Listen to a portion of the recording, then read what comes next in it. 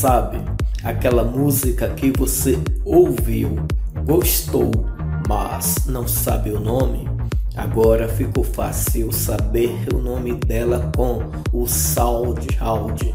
Isso mesmo, SoundHound, identificador de música e voz.